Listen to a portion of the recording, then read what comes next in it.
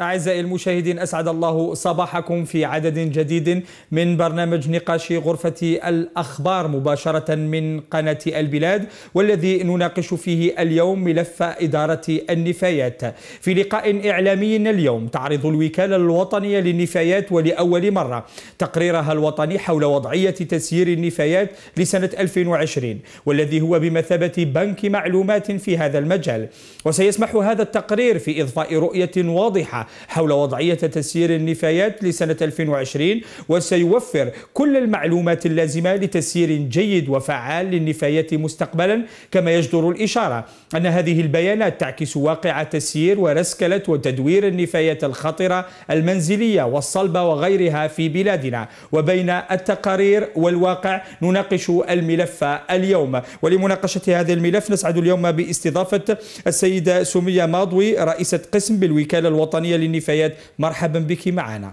صباح الخير. شكرا على الدعوة ومرحبا بكم. وشكرا على تلبية الدعوة. السيدة سمية ربما هو تقرير أول الأول من نوعه وهو من أجل إضفاء بيانات للرأي العام ولكل المتعاملين. يعني ربما ما هي أهم أو أهم ما سيكون في هذا التقرير. أكيد يعني كما تفضلت وقلت في المقدمة ديالك هذا التقرير هو الأول من نوعه. للوكالة الوطنية للنفايات راح تقوم اليوم بعرضه اللي يكون اللي يسمح بعد ذلك الاطلاع لجميع الأطراف على هذا هذا التقرير. هذا التقرير فيه عدة مؤشرات. هذه المؤشرات تساعد جميع الفاعلين المحليين سواء سواء الجماعات المحلية أو المؤسسات أو كل كل فاعلين الأطراف من أجل بناء يعني بناء تقارير على أساس هذا التقرير. يعني هذا التقرير حيصبح مرجع لكل الأطراف الفاعلين يعني على المستوى الوطني. لكي يبنوا خططهم المستقبلية خططهم المستقبلية أكيد. وكل كذلك القرارات تاعهم خاصة الجماعات المحلية بناء على المؤشرات الموجودة في هذا في هذا التقرير. وربما هذا التقرير يحوي على على الكميات كيف يتم جمعها يعني تقنيا هذا التقرير يعني فيه المعلومات اللي يعطيها لنا فيه أكيد مؤشرات ولكن فيه كذلك يعني وصف للتسيير الحالي للنفايات في الجزائر. ليس فقط النفايات المنزلية ولكن تطرق هذا التقرير كذلك للنفايات الخطيرة والخاصة الخطيرة. وتطرق كذلك حتى كذلك للنفايات البحرية لكيفية تسيير النفايات البحرية هنا على مستوى الجزائر. يحمل كذلك مؤشرات كما قلنا بالأساس مؤشرات كميات. كما قلت هذه المؤشرات راح تسمح لجميع الأطراف ب ب معالجة. بو الابوغي الاستراتيجي تاعهم بالنسبة لكل قطاع. هل تملكين يعني بعض الأرقام؟ آه هذا التقرير يعني فيه أرقام هنا استرجعنا يعني خبره تاع الوكالة ولا عبر مختلف المشاريع يعني والحملات اللي طلقتها سواء المتعلقه بالنفايات المنزلية. هنا راح تلقاو النتائج المتعلقه بالحملة الحملة المتعلقه باستخراج ولا استنتاج كمية الإنتاج للفرد الواحد في الجزائر. هذه الحملة اللي مازالها متواصلة لحد الآن ولكن هناك هناك الأرقام المتعلقه بالحملات السابقة. كاين كذلك الأرقام المتعلقه بالحملات الخاصة بالنفايات الناتجة عن عن النشاطات الاستشفائية لي داس اللي داس وكاين كذلك عدة أرقام يعني يمكن نقول يعني إحنا يمكن نقول مثلا على سبيل على سبيل المثال الحصر يعني هنا على في سنة 2020 يعني كمية النفايات المنتجة الاستشفائية تقدر ب تقدر بأكثر من 14 14 طن يعني في متعلقة بالمؤسسات يعني الاستشفائية اللي قمنا فيها بالحملات هذه. وربما هذه يقول لك إنه النفايات تاع المستشفيات ربما هي من أخطر أكيد من أكيد. أخطر واللي. يلزم لها معالجة خاصة ويلزم لها يلزم لها الهياكل الأساسية باش نقوم بمعالجة هذه النفايات. هل يتم معالجتها يعني بالمعايير المطلوبة اليوم في الجزائر؟ أكيد. كل النفايات أكيد. المستشفيات؟ أكيد. جيد. بالنسبة للوكالة الوطنية نحن نرى كثير من الأعمال التي تقوم بها يعني مؤخرا وخاصة في في مجال التحسيس والتحسيس في إعادة رسكلة آه، النفايات. كيف يعني ربما آه، في خلاصة أهم الأعمال اللي تقوم بها الوكالة اليوم؟ يعني الوكالة من مهامها يعني اللي كلفت بها الوكالة الوطنية للنفايات باعتبارها هيئة تحت وصاية وزارة البيئة. أهم مهمة للوكالة هي تنفيذ استراتيجية استراتيجية لوزارة البيئة في فيما يتعلق بتسيير النفايات. أكيد تشجيع النشاطات المتعلقة بالفرز وجمع النفايات القابلة للرسكالة تعتبر من أهم النشاطات اللي تقوم بها الوكالة. يعني الوكالة قامت بعدة مشاريع نموذجية يعني الهدف من هذه المشاريع النموذجيه هو نقل الخبرة للفاعلين المحليين باش يقوموا بنفس هاد بنفس هاد العمليات سواء على مستوى الأحياء يعني كان لنا تجربة آه، تجربة الفرز الانتقائي على مستوى الأحياء وعلى مستوى الإدارات العمومية اللي كذلك كان لنا تجربة من أجل جمع نفايات الورق على مستوى الإدارات العمومية كذلك. وربما أيضا تحسيس الادارات التحسيس العمومية التحسيس لعدم آه، آه، أكيد التحسيس هو أهم عملية في كل عمليه نقوم بها لأنه هذه العمليات مختلف هذه العمليات تتطلب يعني آه، مجهود وتطلب كذلك آه، وعي خاص من طرف المواطن ولا من طرف العاملين في الإدارات باش يقوموا بفرز هذه النفايات. ربما في تجربتكم آه، إذا أمكن أن يعني توافونا بتجربتكم فيما يخص رسكله النفايات أو فرز النفايات بالنسبة اللي كانت في الأحياء. أكيد يعني هنا كان هذا من أحد المشاريع النموذجيه كانت في العاصمة فقط. ليس في العاصمة هذه هذه هذه العملية شملت عدة ولايات عبر التراب الوطني. كما قلت لك الهدف منها هو نقل تجربه على مستوى على شكل نموذجي باش يقوم نقوم بتعميمها على المستوى المحلي. كانت تجربة ليس فقط في ولاية العاصمة وإنما في عدة ولايات عبر الوطن. ربما آه، نذهب آه، يعني نطلب من فريق العمل أن يعطينا فيديو لحاوية ذكية وضعتها بلدية الجزائر العاصمة بالأمس على مستوى البريد المركزي كما تشاهدون. هذه الحاوية الذكية اللي دارت كما نقولوا إحنا البوز يعني شاهد الكثير الحاوية الذكية ربما هي آه، للفرز تدخل في إطار الفرز آه، للنفايات. آه، سيدة سمية ربما تعليق على تعليق من طرفكم على وضع مثل هذه الحاويات بالجزائر العاصمة. يعني هذا الحاوي هذا وضع مثل هذا الحاوي الحاويات يتطلب لا ننسى أنه يتطلب دراسة. يعني وضعها بشكل آه، يكون مدروس وباش تكون الاستفادة منها لأقصى حد. بلا ما ننسى أنه وضع هذه الحاويات ما لازمش يكون بدون حملات تحسيسية لأنه هنا حندخلوا نظام جديد في في عملية اللي هي عملية الفرز.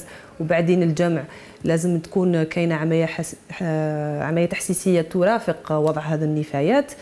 وكذلك لازم توفر كل الوسائل اللازمة. بعدين يعني لأن فرز النفايات يتبعوا يتبعوا مباشرة عملية الجمع وعملية نقل النفايات هذه إلى المراكز المختصة فيما بعد. يعني لازم يرافقوا كل الوسائل اللازمة باش تنجح مثل هذه العمليات. ولكن هذه مثل هذه المبادرات أكيد نرحبوا بها. وإن كانت تدل على شيء فإنما تدل على أنه المواطن الجزائري وهناك يعني وعي من من من جهة تسيير النفايات يعني أو يهتم بمجال تسيير النفايات. ربما هذه تقودنا إلى نقطة مهمة أنه العائق الأكبر الذي يواجه ربما تسيير النفايات أو حتى رسكلتها هي عقلية المواطن هي يعني الثقافة. ربما كنا نشاهد في مشاهد كان سبق ووضع أماكن للفرز الخاصة بالزجاج بالحديد بال يعني بمواد معينة. لكن في بعض الأحيان كنا نرى واحد الممارسات يعني الغير حضارية وين الناس ترمي شكاير تاعها في في في في المزابل المخصصة مثلا لرمي الزجاج. هنالك عائق كبير بالنسبة لثقافة الرسكلة والفرز. أكيد يعني لازم نفهموا بالمواطن في هذه العمليات. المواطن هو العامل الرئيسي, الرئيسي. لنجاح مثل هذه العمليات. هذا لا يمنع أنه ليس فقط المواطن يعني يجب كذلك في المقابل توفير كل الوسائل اللازمة من طرف الجماعات المحلية باش تنجح مثل هذه العمليات. يعني لازم ترفع النفايات بصفة آه، على حسب الدورية أكيد وعلى حساب آه، أكيد. ما يبقوش مع يعني البلدية تجي تقوم بجمع كل هذه النفايات في حاوية واحدة. هذا راح يخلي المواطن يفشل وما يقومش بعمليه الفرز. لذلك حنا نتكلموا على عملية التحسيس وأهميتها. لازم تكون عملية التحسيس بطريقة مستمرة ماشي فقط نجي اليوم اللي نضع فيه الحاوية ولا نوضع فيه هذاك نظام الفرز نقوم بعملية الفر... عملية التحسيس وبعد ذلك من هذا الأمر يتطلب يعني عملية تحسيس مكثفة وبصفة مستمرة باش المواطن يدمج روحه في هذا النظام الجديد. عليه أكيد باش نكونوا واضحين يعني ونمشيو ماشي هو النظام اللي راهو ساري ساري به حاليا على مستوى الوطن. أه، ربما ألا تعتقدون أنه في فيما يخص أه، التحسيس المدرسة ربما هي أول أه، نقطة يجب الانطلاق منها ولما نقول مدرسة نقول مدرسة الابتدائية يعني عند الصغار لأنه لو ربينا هذه الثقافة عند الصغار سيسهل استشراف المستقبل. أكيد أكيد. يعني الطفل هو الباب الأول في عملية التحسيس. يعني حتى إحنا في البرامج ولا في البرنامج اللي قمنا به على مستوى الأحياء أعطينا آه، أهمية خاصة للطفل وكنا نقوموا بمسرحيات باش نفهموه آه، الفرز آه، يعني نفهموا عن النفايات ونفهموه كذلك كيف تتم هذا عملية الفرز ولماذا نقوم بفرز النفايات. باش تدخل فيه هذيك ثقافة الفرز يعني من الصغر باش يعني في المستقبل لما تكون يعني لما يكون هناك هذه الأجهزة توضع بشكل عام على مستوى مستوى البلديات يكون هو بالأصل عنده هذيك ثقافة الفرز. يكون تربى عليها.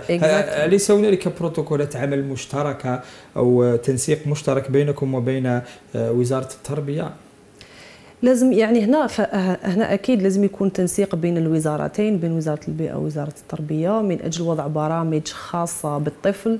اللي تسمح اللي تسمح له باش ندخلوا هذه المادة تاع التحسيس ولا التوعية المتعلقة بكل ما هو سير نفايات أو كل متعلقة ببيئه يعني ليس فقط لأنه رأينا ربما في بعض برامج يعني دول غربية وحتى دول آسيوية في البرامج المدرسية آه، تدخل ياخذوا التلاميذ للمناطق وين تتم الرسكلة و ويعني يعطوا لهم بالأرقام قال هذا الكيس البلاستيكي يقعد 400 سنة باش يتحلل هذه هذه تقدر تربيها في الشارع لأنها عضوية في الشارع فوق التراب لأنها عضوية وتتحلل ربما. وتتحلل. هل تستشرفون مثل هذه المبادرات؟ أكيد أكيد. هاد كل هذه المبادرات المبادرات عفوا مرحب بها وأكيد كاين برامج بين الوزارتين اللي راح إن شاء الله تكون في القرب العاجل تكون على أرض أرض أرضية الواقع.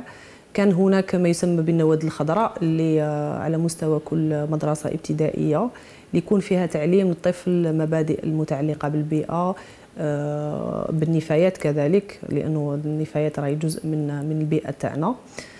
أكيد يعني هذه البرامج مرحب بها. بالنسبة لي ربما حتى هذه النوادي الخضراء هي عملتوا معها من قبل هذه النوادي الخضراء؟ هذا كان البرنامج مسطر من قبل وزارة, وزارة البيئة, البيئة. ووزارة ووزارة وزارة التربية يعني. وما زال لحد الآن يعني بعض النوادي تنشط في تنشط من في المدارس الابتدائية. في الحملات التحسيسية واللي هو دور كبير للوكالة الوطنية للنفايات والتي أصبحت تأخذ حجم أكبر نظرا لأهمية آه، القطاع. آه، يعني انتقلتم ليس فقط من الأفراد والمواطنين والأحياء بل أنتم أيضا آه، بين المؤسسات.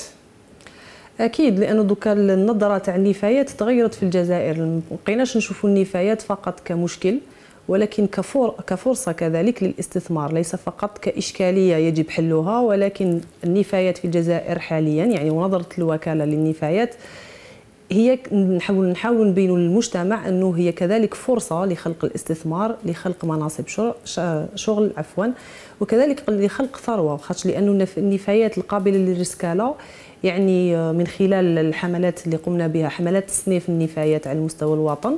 يعني هي موجودة بنسبة معتبرة في في الحاوية الجزائرية واللي تتطلب اللي تطلب يعني يكون هناك آه، عرض وطلب باش تخلق هاد هاد فرص الاستثمار على المستوى الوطني.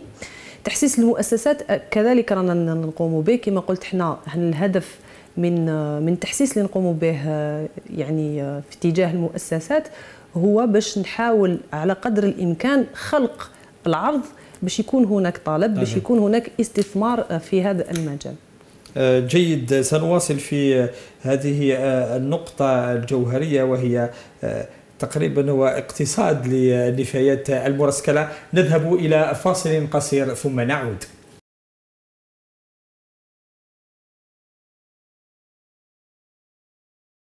أعزائي المشاهدين مرحبا بكم مرة أخرى مباشرة من قناة البلاد ومن نقاش غرفة الأخبار النقاش الذي نخوض فيه اليوم إدارة النفايات في الجزائر بين التقارير والواقع الملموس والذي نناقشه مع السيدة سمية ماضوي رئيسة قسم بالوكالة الوطنية للنفايات. مرحبا بك معنا مرة أخرى. مرحبا بك. شكرا لك. ربما كنا نتكلم ودخلنا إلى يعني تدوير أو رسكله النفايات يعني في بعض الدول رأينا أنه أصبح اقتصاد أو صناعة قائمة بحد ذاتها. هنالك متعاملين خواص يعني يهتمون بهذا المجال اهتمام كبير. هنالك استثمارات هنالك أموال تدر من من النفايات. هل الجزائر هي مقبلة على هكذا صناعة؟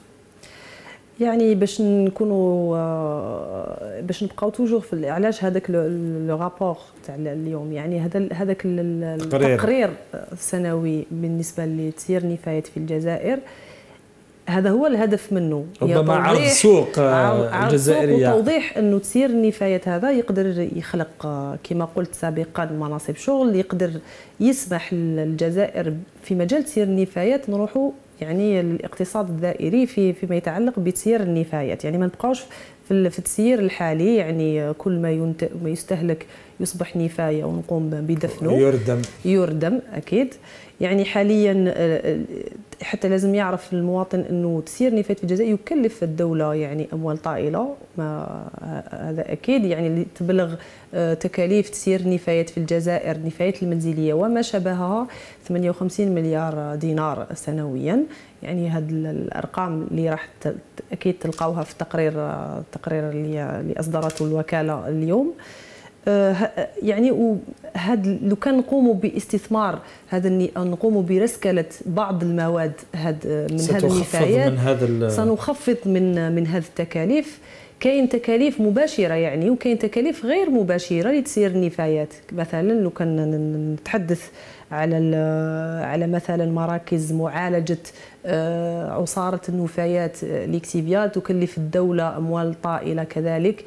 لو نتكلم كذلك على آه، مشكل هام وهام اللي هو انعدام حاليا ما هو foncier pour justement يعني رد بالنفايات. لا تجدون يعني قطع أرضية قطع أرضية لردمها. لإنشاء مراكز الردم التقني يعني حيث تتطلب تتطلب يعني تسير نفاية يعني باش نقوموا بردم النفايات المنتجة بالنسبة لولاية الشمال نسحقوا إلى أكثر من 400 هكتار لردم هذه النفايات. يعني الآن لازم نتوجه نحو نحو الرسكالة لازم نتوجه نحو تدوير النفايات. هذا التدوير يعني يعني نعطيكم بعض الأرقام فقط إنه لو كان ناخذ فقط المواد القابلة للتدوير اللي كاينة في اللي كاينة في الحاوية الجزائرية يعني نتكلم فقط على النفايات المنزلية وما شابهها راح وكذلك آه، تثمين النفايات العضوية اللي موجودة كذلك في الحاوية راح تمكننا من ربح أكثر من 94 مليار دينار سنويا. هذه فقط هذا يعني هي أكبر هذا من قيمة ما يكلفنا المعالجة. ما يكلفنا تسيير النفايات. هذا هذا فقط الربح المباشر بلا ما نتكلم على الربح الغير مباشر لأنه هنا راح نخفض نخفض فاتوره فاتورة الردم على على الجماعات المحلية. محلية. لأنه الكمية تاع النفايات اللي تروح اللي تروح للردم راح راح تكون تكون أقل من ما هي حاليا. يعني هذه فقط بعض الأرقام والمؤشرات اللي كلها راح توجدوها في هذا التقرير. اللي تبين حقيقة وعلاش لازم نروحوا للاستثمار في هذا المجال. إذا فهو هذا هذا التقرير هو نوعا ما ورقة وين ثبت لكل المهتمين بهذا المجال. القدرات أو ما تملكه الجزائر من نفايات يمكن تثمينها. بالنسبة لي ربما مراكز يعني لا أعلم إذا كنتم تملكون الرقم. كم يبلغ عدد مراكز الفرز أو التدوير؟ ربما هل هي موجودة بعدد كبير أو يعني نتكلم عن المؤسسات المؤسسات اللي تقوم باسترجاع وتثمين النفايات في الجزائر. يعني الرقم تاعها أكثر من 3000 مؤسسة منتشرة عبر التراب الوطني. يعني تقوم باسترجاع بعض النفايات يعني القابلة للرسكالة. هذه يعني الأرقام اللي عندنا حاليا. هي خواص أو كلها تبع القطاع العام؟ خواص أو أو أو القطاع العام يعني بين الخاص والعام. يعني هذا هو الرقم تاع المؤسسات اللي تقوم باسترجاع وتدوير نفايات كما قلت لك سابقا هذا لا هذا يعني تطوير هذا السوق يتطلب وجود العرض كذلك. لازم حتى المؤسسات المنتجة للنفايات ثاني يكون عندها يكون عندها وعي بالنسبة للنفاية تاعها باش توجهها نحو هذه المؤسسات اللي تقوم بالاسترجاع هو أظن إنه هي عملية الفرز هي هي الأساسية في هذا أكيد حتى داخل المؤسسات. لازم ثاني هذه المؤسسات تكون عندها وعي خاصة بالنسبة للنفايات الخاصة والخاصة الخطيرة باش توجهها نحو فروع فروع التثمين والمعالجة المتعلقة بهذه النفاية. ولهذا اللي حي اللي حيشجع المستثمرين يعني في هذا المجال باش يروحوا للاستثمار في الجزائر. جيد من مهام الوكالة الوطنية للنفايات ربما هو مرافقة المؤسسات الاقتصادية في تسيير نفاياتها كيف يكون ذلك؟ يعني مهام الوكالة الوطنية للنفايات ليس فقط مرافقة المؤسسات مرافقة كذلك كل الفاعلين كذلك الجامعات المحلية. يعني مرافقة المؤسسات يتم بوضع ما يسمى بتسيير مدمج النفايات على مستوى المؤسسة. هذا هذا يعني هذا النشاط يعني اللي قمنا بتطويره مؤخرا وين نتوجهوا للمؤسسات اللي اللي تقوم بإنتاج نفايات. quel que soit le type de l'entreprise هذه يعني تقدر توجه الوكالة باش تساعدها في تسيير النفايات تاعها تعطيها التوجيهات في ظل احترام كذلك القوانين اللي سند القوانين اللي وضعتها وزارة البيئة فيما يتعلق فيما يتعلق بتسيير النفايات أو في البيئة عامة. نعاود نرجع دائما لهذا التقرير لأنه هذا الهدف منه يعني باش نقوموا ب يعني تحديث الناس باش تقوم بالاطلاع على التقرير. هذا التقرير يوضح كذلك مختلف الوسائل اللي تقدر تستعملها سواء الجامعات المحلية والمؤسسات في تسيير نفاياتها. كاين وسائل وسائل قنها القانون وكاين وسائل الوكالة هي اللي قامت بتطويرها. ونتكلم على الوسائل اللي القانون الجزائري سنها في المواد تاعو نتكلم على المخطط البلدي لتسيير النفايات. يعني هنا كاين شرح في هذا التقرير شرح مفصل عن هذا المخطط لأنه يعتبر أداة وآلية مهمة جدا في تسيير النفايات على المستوى المحلي. كاين وسائل أخرى الوكالة الوطنية هي النفايات هي اللي قامت بتطويرها من أجل يعني تسهيل سير النفايات على كل الفاعلين. نتكلم مثلا على نظام الرصد والإنذار اللي هو الرقم الأخضر وكذلك لابليكاسيون ضيف. يعني اللي هنا اللي حاولنا من خلال هذا النظام تقريب المواطن من من الإدارة يعني لهنا لإسهامي واشراكي اشراكه في تغيير المحيط تاعو. يعني ماشي فقط يقع يعني العيب هي هذه هي منظومة رقمية نعم. تساهم يعني المواطن يشير أو يبلغ عن النقاط السوداء يبلغ عن النقاط السوداء اللي كاينة في المحيط تاعو. هذا باش هو كذلك يفهم باللي لازم عليه يساهم في تغيير في تغيير المحيط تاعو. وباش يسمح كذلك للجماعات المحلية بالتدخل من أجل يعني إزالة هذه النقاط السوداء الموجودة في الموجودة وأظن أنه كانت هنالك أيضا في منظومتكم الرقمية طلعنا عليها سابقا هي نوع من بورصة للنفايات. هذه كنت حنوصل لها يعني هذا بالنسبة للمواطن والجماعات المحلية. قمنا بتطوير بورصة النفايات الصناعية. للهدف منها جوستومون كنا هضرنا على العرض والطلب.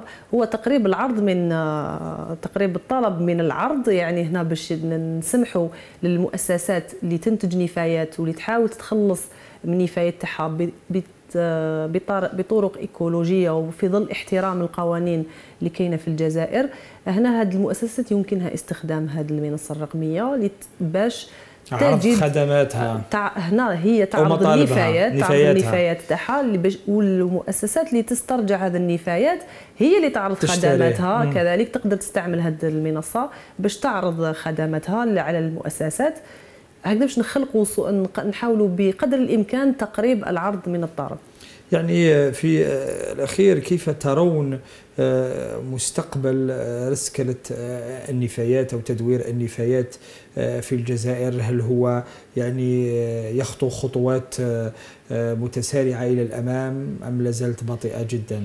أكيد وهذا هو الهدف من إصدار هذا هذه التقارير.